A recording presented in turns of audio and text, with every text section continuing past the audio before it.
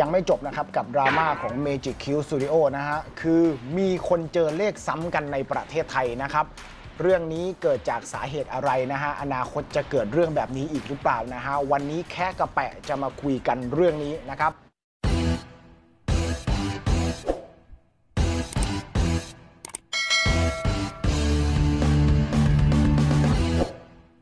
สวัสดี KPC กระแปะ Channel ทุกคนนะครับผมของแท้ KPC ต้องตัวใหญ่นะฮะ สืบเนื่องมาจากคลิปดราม่า Magic Q ที่แปะเพิ่งพูดไปในคลิปที่แล้วนะครับผมเกี่ยวกับล็อตยุโรป หรือว่าล็อต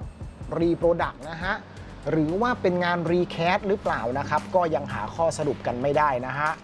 แปะบอกว่าถ้าเกิดมันเป็นล็อตยุโรปเนี่ยต้องบินไปหาเลขซ้ำกันถึงยุโรปนะครับตอนนี้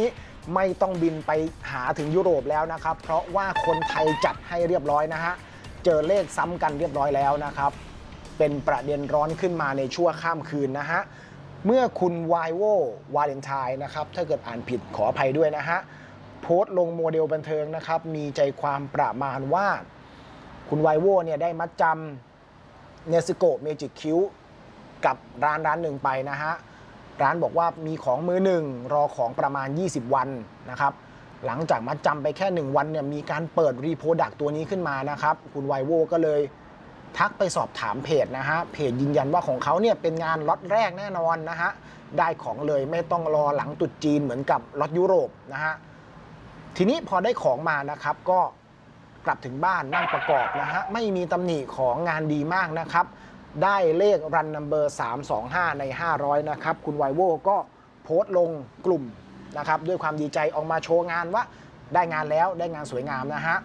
ทีนี้ดันมาเจอคนในกลุ่มนะครับ มีของเหมือนกันแล้วก็เลขเดียวกันด้วย 325 ใน 500 มีการนำรูปเบอร์มายืนยันกันเลยนะฮะ พิสูจน์แล้วว่าต่างคนต่างจริงทั้งคู่นะครับ งานนี้เลยกลายเป็น MCU Magic Q Universe ขึ้นมาทันทีนะฮะ 520 เวอร์ไวนะครับ มึงก็วายกูก็วายนะฮะ จิ้นกันกระจายแล้วคนตายคือใครครับผม คนตายก็คือนักสะสมนะฮะ เมื่อมีประเด็นนี้ขึ้นมานะครับ แปะจึงขอนำข้อมูลที่ได้มานะฮะ มาแคะให้ฟังกันนะครับ เกี่ยวกับเรื่องล็อตหรือว่าเรื่อง limited นะฮะ ว่าในวงการนี้เนี่ยคำเหล่านี้มันมีจริงหรือเปล่านะครับถ้าเป็นของเล่นจำพวกจุดขยับ SH Figuarts นะฮะ หรือว่างานกล่อง DX เนี่ย จะมีล็อตบอกนะครับ เช่นล็อต JP ล็อต HK หรือว่าล็อต DT นะฮะ เพื่อบอกประเทศปลายทางสำหรับจัดจำหน่ายสินค้านั้นนะครับ ถึงแม้ว่าสุดท้ายเนี่ยจะมารวมกันที่ไทยกว่าครึ่งก็ตามนะฮะ ล็อตพวกนี้จะใช้สติกเกอร์แมวนะครับ แบ่งล็อตนะฮะ โดยสีทองหมายถึงล็อต JP Japan นะฮะ สีเงินหมายถึงเอเชียนะครับ สีขาวเนี่ยหมายถึงดีมทอยนะฮะ งานพวกนี้จะไม่แตกต่างกันเรื่องคุณภาพนะครับ แต่ว่าแตกต่างกันเรื่องราคาไม่ว่าจะเป็นราคาตอนซื้อ หรือว่าราคาตอนขายนะฮะแต่เคยบอกไปแล้วว่างานเรซินเนี่ยมันจะไม่มีแมวนะฮะแต่ว่ามีคำว่าล็อตแทนนะครับ ถ้าเป็นงานลายเส้นเนี่ยคำว่าลิมิเต็ดเนี่ยแปลว่ามีอยู่จริงนะฮะ เพราะว่าจากข้อมูลที่ได้มาจากเพจ MCV SN Prime Store นะฮะ ระบุ งานค่าย Tsume เอาไว้นะครับว่ามีจำหน่ายกี่ชิ้นและผลิตปีไหนบ้างนะฮะ ข้อมูลมีดังนี้นะครับ ผมงานอุซุปผลิตปี 2014 นะ limited 500 ชิ้น งานโซโลผลิต 2014 เหมือนกัน limited 800 ชิ้น งานหนวดขาว 2016 นะครับ limited 1,000 ชิ้นนะฮะ งานโรบิน 2017 นะครับ limited 1,800 ชิ้น งาน Ace ปี 2018 นะฮะ ผลิต 4,000 ชิ้น งานลอว์นะครับ 2020 ผลิต 1,800 ชิ้น งานช็อปเปอร์ 2021 นะครับ ผลิตถึง 2,500 ชิ้นนะฮะ งานแฮนค็อกโบอานะครับ 2021 ผลิต 2,500 ชิ้น และงานแช้งผมแดงนะครับ 2021 ผลิต 1,800 ชิ้นนะครับผม เห็นว่าจำนวนผลิตเนี่ยมันมีขึ้นมีลงเรื่อยๆนะฮะบ่งบอกว่ากระแสงานเรซินในช่วงนั้นมีคนสนใจเยอะมีความต้องการสูงหรือว่า drop ลงนะครับค่ายเนี่ยจึงมีการเพิ่มลดจำนวนผลิต แต่ก็ยังคุมความเป็น limited เอาไว้นะฮะเพื่อคงมูลค่าของงานนะครับผม ไม่ผลิตออกมาเยอะเกินไปจนหาง่ายกลายเป็นของไร้ค่า หรือผลิตออกมาน้อยจนเกินไปทำให้นักสะสมไม่สามารถหามาครอบครองได้นะครับ อันนี้ดูได้จากงานที่ปีแรกๆอุซุปกับโซโลผลิตออกมาแค่ 500 กับ 800 ชิ้นนะฮะ ราคามันถึงสูง เพราะว่ามันมีจำนวนแค่นี้เองนะครับในทางกลับกันนะครับ ค่ายจีนหรือว่าค่ายคัสตอมเนี่ย ไม่ใช่เฉพาะ Magic Q นะ ก็ใส่คำว่า Limited หรือว่าจำนวนผลิตไว้ตอนเปิดพรีเหมือนกันนะครับ โดยการที่พวกเขาเนี่ย ใส่น้อยๆ กระตุ้นความอยากได้เอาไว้นะฮะ 168 เลขมงคลจีนใส่เข้าไปนะครับ 399 มีเลข 9 นะฮะ สวยใส่เข้าไปนะฮะ ต่อไปแปะแนะนำมึงลงมาเลยผลิต 99 ตัวนะฮะ แย่งกันเป็นแบบว่า เป็นของแจกโปรยทานกันเลยทีเดียวนะครับ เพราะว่ามันเป็นแค่ตัวเลขนะฮะ แม่พิมพ์ยังมีไฟล์สั่งปริ้นก็ยังอยู่นะครับทำไมจะมีออกมาอีกไม่ได้ใช่ไหมฮะ ล็อตแรกเนี่ยโอเค อาจจะผลิตออกมา 168 จริงนะครับ แต่ว่าคนยังอยากได้อยู่จะทำยังไงดีล่ะ ยากตรงไหนครับผมใส่ล็อตเข้าไปสิใช่ไหม168ล็อตจีน 168ล็อตไทย 168ล็อตยุโรป นี่ 3ล็อตเนี่ยปาไป 504 ตัวนะ เกินครึ่งพันแล้วนะครับผม ว่ายังไงนะมาเลยอยากได้ คาซัคสถานเอาด้วย ฮอลันดาเอาด้วย เอาใส่เข้าไปอีกนะครับผม ครบพอดี 1,008 ตัว สุดยอดมาก ๆ นะฮะ แต่ขอขอบคุณข้อมูลจากคุณพัสกร แสนแก้วใส หรือเปล่านะ ถ้าเกิดแปะอ่านผิดขออภัยนะครับผม เขาได้รวบรวมข้อมูลซาสึเกะของค่ายท็อปเนี่ยว่ามีแบ่งเป็นล็อตต่างๆ ไม่ว่าเป็นล็อตไทยล็อตยุโรปนะหรือว่าล็อตจีนเนี่ยแบ่งล็อตออกมาเนี่ยรวมแล้วเนี่ยซาสึเกะตัวนี้มีเป็นพันตัวเลยทีเดียวนะฮะเรียกง่าย ๆ คือมันเป็น limitedแต่มันเป็นคนละล็อตนะครับจริง ๆ เมื่อก่อนเนี่ยนะค่ายจะใส่ล็อตมาในงานด้วยนะครับ เช่น TH คือล็อตไทย HK คือฮ่องกง EU คือยุโรป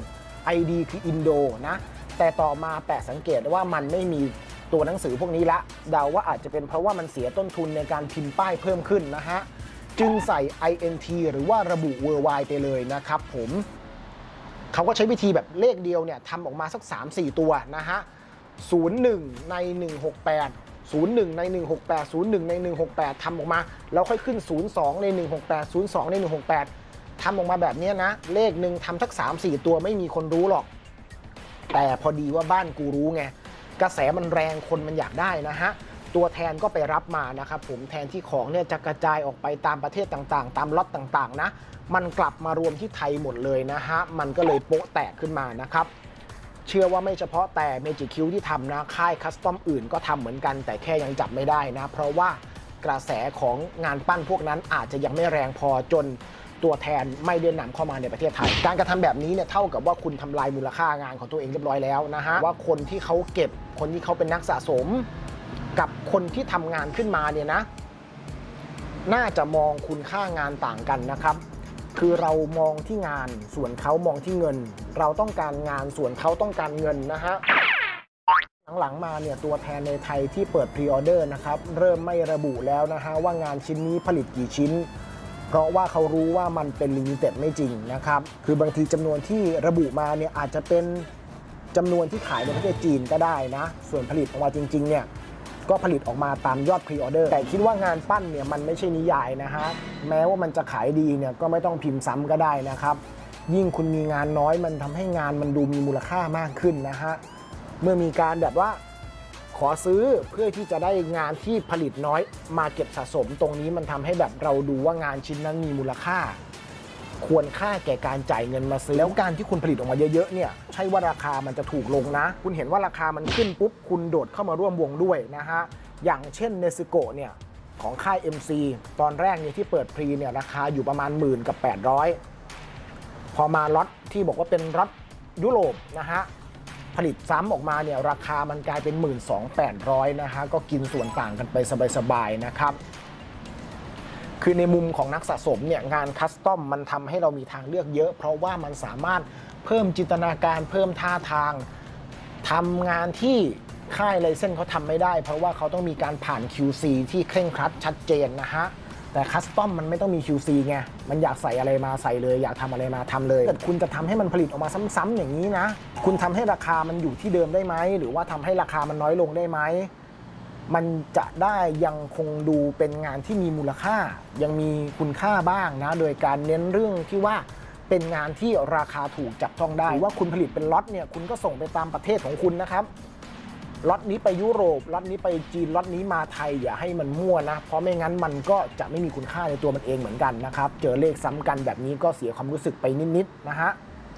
เข้าใจว่ามันอาจจะยากนะครับ เพราะว่าเมื่อคนอยากได้เนี่ยคนก็ไปหามาใช่ไหมครับงานนี้อยากได้ใช่ไหมอ่าโอเค ตัวแทนไปหามาให้ เอาล็อตจีนมาให้ เอาล็อตยุโรปมาให้ สุดท้ายล็อตมันก็มั่วอยู่ดี ยังทำแบบนี้ต่อไปเรื่อยๆเนี่ยแปะเชื่อว่าคนน่าจะไปเล่นงานลิขสิทธิ์กันมากขึ้นนะครับ แม้ว่าราคามันจะสูง แต่ว่ามันมีคุณค่าทางจิตใจมากกว่า เขาให้เกียรติกับลูกค้าที่เป็นนักสะสมมากกว่า ไม่เหมือนกับงานคัสตอมที่ไม่ให้เกียรติลูกค้าเลยเหมือนลากมาตบหน้ากลางสี่แยกนะฮะซื้อมาแล้วเจอแบบว่า ถึงมันจะเป็นของแท้มาจากค่ายจริง ๆ นะ แต่ว่าเมื่อเรารู้ว่ามันมีอีกคนหนึ่งที่มีเลขเหมือนกันเนี่ย มันก็อดสะกิดใจนิดๆไม่ได้นะครับ นักสะสมหน้าใหม่ที่เพิ่งเข้ามาในวงการนะฮะ ไม่ว่าจะมาเพราะตามกระแสดาบพิฆาตอสูรหรือว่าเห็นคนอื่นมีงานปั้นแล้วอยากจะเข้ามาสนใจกับงานปั้นบ้างนะฮะ แต่แนะนำว่าให้มองที่ชิ้นงานมีความสุขกับชิ้นงานนะฮะ เห็นแล้วถูกชะตาหรือเปล่าเห็นแล้วชอบไหมนะครับ อย่าไปมองว่ามันเป็นสินค้า ซื้อมาเพื่อเชยชมเบื่อแล้วขายออกจะได้กำไร ในโลกความจริงเนี่ย โลกเรามันไม่สวยขนาดนั้นนะครับผมแนะนำว่าให้ซื้อตัวที่ชอบ จ่ายเงินตัวที่ใช่นะฮะแล้วจิตใจเราจะมีความสุข ได้มาจริงๆเนี่ยแปะบอกเลยว่ามันไม่มีใครมองเลขหรอกนะครับผมทุกวันนี้แปะยังจำไม่ได้หรอกว่าของที่มีเนี่ยนะมีเลขอะไรบ้าง มีล็อตอะไรบ้าง รู้แค่ว่ามีตัวไหน แต่ละตัวทุนเท่าไหร่นี่ก็พอแล้วนะฮะ นักสะสมคนไหนที่จำเลขงานตัวเองได้หมดนะครับผมบอกมาเลยนะฮะ แปะจะไปสัมภาษณ์ถึงบ้านเลยนะครับ จะให้ไล่เลขโชว์เลยว่าถูกหมดหรือเปล่านะฮะ นักสะสมจริงๆเนี่ยจะมองแค่ความสวยนะครับ แต่ว่าคนขายเนี่ยจะมองไปที่ราคา พวกที่หวังพรีเพื่อมาเก็งกำไรเนี่ยเจอข่าวเรื่องล็อตนี้ไปนี่ก็มีดิ้นเหมือนกันนะฮะการเก็งใบพรีเนี่ยเซ็นได้ค่อนข้างน้อย ดูได้จากในกลุ่มไลน์ซื้อขายก็ได้นะฮะทุกวันนี้เห็นแต่มีคนลงขายใบ pre ราคาต่ำ pre นะแล้วก็จะมีแบบบางคนที่ ลงว่ารับงานนี้แต่ว่าขอราคาต่ำ pre นะครับไม่ค่อยมีใครให้มากกว่า pre สักเท่าไหร่นานๆจะเจอสักทีนะครับทุกวันนี้มีนะบางคนเนี่ยงานเพิ่งเปิด pre-order มานะมาตั้งโพสต์แล้วว่าขอรับต่ำกว่าราคา preใครจะมาขายเขายังเปิด pre กันอยู่เลยนะคุณคนแบบนี้ก็มีนะในวงการนี้ สรุปนะครับคำว่าล็อตคำว่า limited นะถ้าเป็นงานลิขสิทธิ์แปลว่ามันมีอยู่จริงนะครับ แต่ถ้าเป็นงาน custom คำว่าล็อตคำว่า limited เนี่ยมันคือภาพฝันที่ตอบสนองความต้องการของผู้บริโภคนะครับค่ายผู้ผลิตใส่มาเพื่อยกระดับงานของตัวเอง เห็นค่ายลิขสิทธิ์มีก็อยากมีบ้างนะฮะใส่ตัวเลขมาหลอกๆว่าอย่างนั้นนะครับตอนนี้นะฮะแปะรับ pre-order แล้วนะครับผมสนใจงานไหนหรือว่าอยากสอบถามงานเกี่ยวกับงานไหนนะฮะติดต่อ inbox มาได้ทุกช่องทางนะครับ จะพยายามหาข้อมูลแล้วก็ตอบให้นะฮะ ฝากกด Subscribe ไลค์แชร์ฝากเพจกะแปะ Channel ด้วยนะครับ เอาไว้มีกระแสอะไรขึ้นมาแปะจะทำคลิปมาวิแคะกันใหม่ก็แล้วกันนะครับ ผมวันนี้เอาไว้แค่นี้นะครับผมแล้วพบกันใหม่กับ KPC กระแปะชแนลของแท้ KPC ต้องตัวใหญ่นะครับผมสวัสดีครับ